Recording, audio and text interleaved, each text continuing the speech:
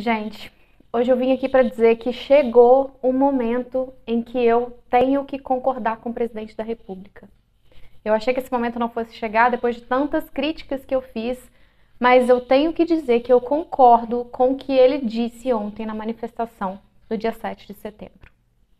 Então, se você é apoiador do presidente, aproveita, se inscreve aqui no canal. Vamos falar sobre política? Então vai lá, pega um cafezinho chega aqui pertinho para a gente conversar.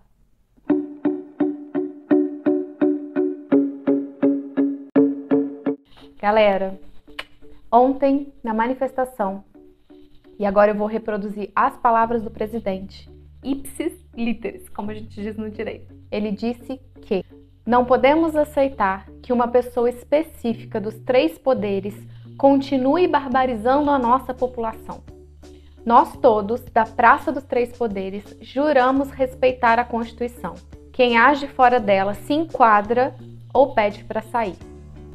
Essas foram palavras exatas do presidente da República durante as manifestações que ele convocou ontem para várias cidades, que aconteceram também em várias cidades do país e principalmente Brasília e São Paulo, onde ele esteve presente e discursou. E eu tenho que dizer que eu concordo com ele.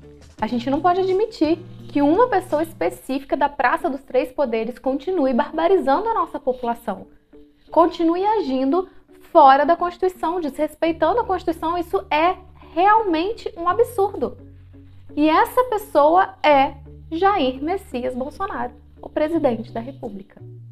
Uma coisa que a gente não pode fazer aqui é diminuir a importância que as manifestações de ontem tiveram. É claro que antes de acontecer, tinha todo aquele alvoroço dizendo que seriam milhões de pessoas na rua. Não foi tudo isso, mas também não foi pequeno. E a gente teve também ali algumas, alguns vídeos que circularam na internet dando conta de que é, foram fretados ônibus para levar as pessoas para a manifestação, essas pessoas ganharam camisas, elas, essas pessoas ganharam dinheiro vivo. Olha isso, cara, eu achei que era brincadeira, meu. Uma camiseta para cada um, mais o ônibus, mais 100 reais para alimentação. Esse é o nosso grupo Jato de Pompeia. É. Aê, grupo Jato! Então, assim, teve lá as suas críticas, mas de fato tinha muita gente apoiando o presidente ontem nas ruas em várias cidades do país. O Bolsonaro tem somente 25% de aprovação ali, mais ou menos um quarto da população. Mas mesmo assim, ele tem conseguido mobilizar as pessoas para que vão às ruas, de maneira a mostrar que o apoio dele, na verdade, é maior do que só os 25%. Inclusive, ele usa isso para questionar essas próprias pesquisas. E os apoiadores do Bolsonaro são pessoas mais efusivas, eles se fazem presente, eles dão a cara a tapa pelo presidente. Dentre esses apoiadores, nem todo mundo que estava lá entendia exatamente qual era a intenção do Bolsonaro com aqueles atos. Quem estava errado ali nisso tudo era o próprio presidente da República. A ele não é permitido dizer abertamente que não vai respeitar uma decisão que vier do STF. A ele não é permitido insuflar a população, inflamar os seus apoiadores contra o Congresso, contra o STF. Ele faz parte do Estado. Se ele, fazendo parte do Estado, de alguma maneira tenta destruir as nossas instituições, tenta destruir o Estado da maneira como ele é formado, isso é golpe. Presidente, o povo precisa do senhor, presidente. Presidente, o senhor está nos convocando, presidente, desde o começo do ano. Nós estivemos na rua em maio, nós estivemos na rua dia 1 de maio, dia 15 de maio, nós tivemos na rua dia 1 de agosto. Presidente, pelo amor de Deus, estão atacando o nosso povo aí em Brasília, presidente. A polícia está usando da força. O senhor é nossa última salvação, presidente. Nós vamos trancar todo o Brasil porque nós estamos do lado do senhor, presidente. Um presidente da República é uma pessoa que está numa posição hierárquica superior. Ele, por ser presidente, já tem muito poder. Ele tem poder de criar regras para a sociedade. Mas ser presidente não dá a ele o direito de modificar as regras que já existem para favorecer a ele. Não é assim que funciona. A gente tem a Constituição, que é a regra principal, a regra maior do nosso Estado brasileiro. Essa Constituição foi criada justamente no momento em que a sociedade falou: esse sistema que está aqui eu não quero mais. E a gente vai criar um outro sistema para definir quais vão ser as regras dessa nova sociedade, respeitando os direitos das pessoas, até porque a nossa Constituição veio em resposta à ditadura militar, então ela trouxe garantias de liberdades individuais, ela trouxe mecanismos de freio dos poderes das pessoas que estão nas posições, como o Bolsonaro está na presidência da República. A Constituição é a garantia que a gente tem de que as coisas vão funcionar numa determinada tranquilidade, numa determinada ordem. Se o presidente da República, que já tem muito poder pela própria posição que ocupa, decide ir contra a nossa Constituição, ele está destruindo o nosso país de dentro para fora. É como se ele pegasse uma bomba, soltasse dentro da própria casa dele, mas ele sai pela porta da frente.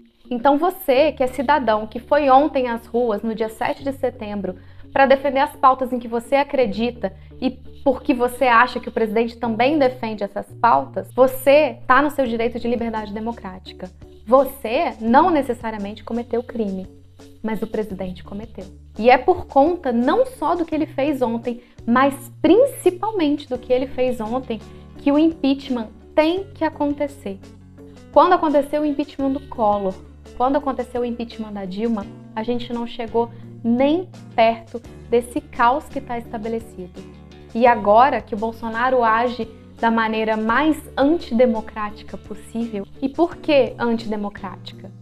Porque democracia é respeitar as regras do jogo.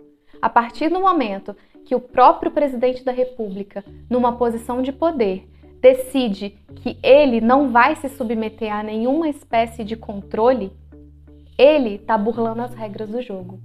A partir do momento que ele, como presidente da República, acha que, pela posição que ocupa, tem o direito de impedir que os filhos sejam responsabilizados pelos crimes que cometeram, aí ele viola não só as regras do jogo, como também o princípio da igualdade, que diz que todo mundo é igual diante da lei se a lei vale para todo mundo e um filho dele cometeu algum crime, ele tem que ser responsabilizado. Não é porque o papai é presidente da República que para ele vai ser aliviado. E é por isso que eu digo que eu concordo com o que o presidente falou ontem na manifestação. A gente não pode admitir que uma pessoa específica da região dos três poderes continue barbarizando a nossa população. E essa pessoa específica é o Bolsonaro, não é o ministro Alexandre de Moraes. Quem age fora das regras da Constituição deve se enquadrar ou pedir para sair. E é engraçado o uso da expressão se enquadra, porque ali ele está fazendo justamente uma alusão à pessoa que pratica um determinado ato que é considerado crime. Então, o ato dessa pessoa se enquadra na definição daquele crime. E o que ele fez ali foi justamente praticar um crime de responsabilidade. O ato dele de dizer, de ameaçar, que vai descumprir decisão judicial configura crime de responsabilidade. E crime de responsabilidade é motivo para impeachment. O Supremo Tribunal Federal também não tolerará ameaças à autoridade de suas decisões. Se o desprezo às decisões judiciais ocorre por iniciativa do chefe de qualquer dos poderes, essa atitude, além de representar um atentado à democracia, configura crime de responsabilidade a ser analisado pelo Congresso Nacional. Os crimes de responsabilidade existem justamente para que não tenha abuso de poder. E abuso de poder é o que o presidente fez ontem e o que já vem fazendo há muito tempo. Ele quer implodir o Estado de dentro para fora. E isso é golpe. E aí, gostou do vídeo? Uai, então deixa seu like e compartilha com seus amigos.